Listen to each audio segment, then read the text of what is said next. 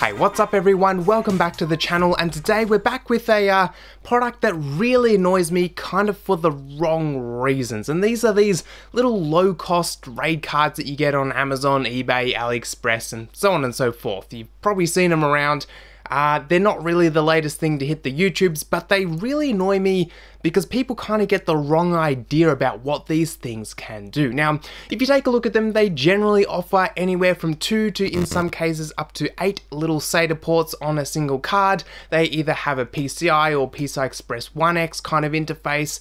They're low cost anywhere from, I've seen them down to like $10 up to 50 depending on the SKU and what kind of onboard controller you actually get.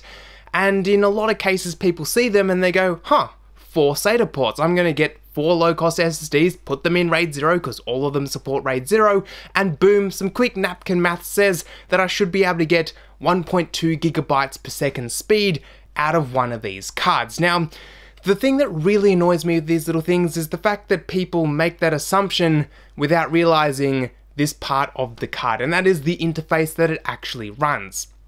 Unfortunately, that's just not the case. Whether it's PCI like this one or PCI Express 1X, we're limited to about 200 megabytes per second, or in the theoretical uh, technical specifications, it's 250 megabytes per second uh, bidirectional, so read and write 250 megabytes per second in theory, and in the real world that translates mostly closer to about 200 uh, megabytes per second read and write on these particular cards. So the thing that sort of makes me the most kind of annoyed about all this is the fact that people are kind of using them from the wrong reasons. So okay then, you're kind of annoyed about this, but obviously they exist for a reason and there is actually a really good reason for these things to actually exist and that is the large storage market for people on a budget. Now, as we just noticed here, and if we throw up some benchmarks from this video right here where I went ahead and used the faster 4X version, we see that even with dual 4X cards, we're only able to deliver 1.6 gigabytes per second across 10 drives,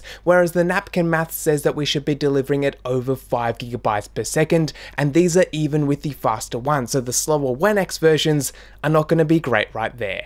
But what they're great for is hard drives and lots of hard drives. Now, as we mentioned, the PCI Express standard uh, that the PCI Express versions use is only going to deliver us about 200 real world megabytes per second. Obviously, yes, there's variations and overheads and things like that. But my point is we're looking at that types of speeds and hard drives, they don't run very fast. And if we're not really relying on these things to do fast RAID, they're actually absolutely awesome, which is another thing that really, really annoys me because they're great, and they suck all at the same time. Big companies like Backblaze actually go ahead and use this as part of their open source design, although not this exact card, but they use these cheap low cost little uh, RAID cards to go ahead and add drive connectivity to their servers because these things are cheap.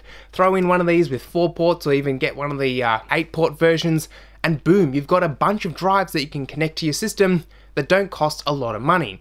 Go ahead and use a software type RAID to, well, control your RAID because these onboard controllers are in some case hit and miss, but go ahead and grab a different RAID controller and boom, you have a really reliable setup that just didn't cost you an arm and leg, and that is what I really do love about this. Now, in a recent project that I'm putting together, hasn't really come out as a video yet, I'm going ahead and building a 90 terabyte-ish server. I haven't finalized the final number, but it's going to be in that 90-ish terabyte uh, storage space, and I saved two grand by buying cheapo PCI Express 1X cards to go ahead and connect all the drives because I'm not expecting super high performance in the reads and writes department. I just want to load stuff up as archives.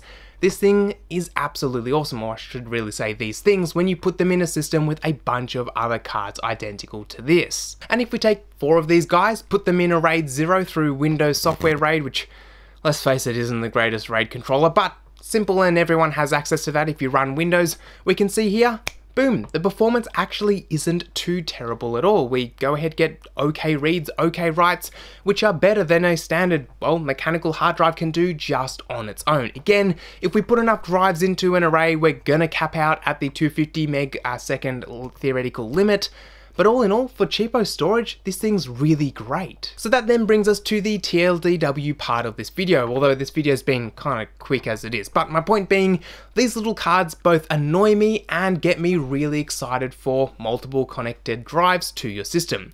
They annoy me because a lot of people see 4 or in some cases 8 SATA ports and they see RAID 0 and they go, wow, I could do 1.2 gigabytes per second theoretical if my drives can do, you know, about 300 megabytes per second sustained. That's awesome.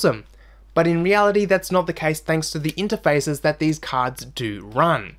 What they're great for is the hard drive world, where you're not really expecting the world's highest performance. You can go ahead and throw four, or again, in some cases, eight hard drives on one of these things, add a ton of storage to a system, run your RAID off of the software controller, whether they'll be Windows RAID, which and just don't do that. But anyway, you can theoretically use whatever you want, and it's actually a really awesome little thing. As I mentioned, I've saved about two grand by buying these cheap little cards and just running them as essentially HBA cards, rather than running them with the little RAID controller on board with these particular units.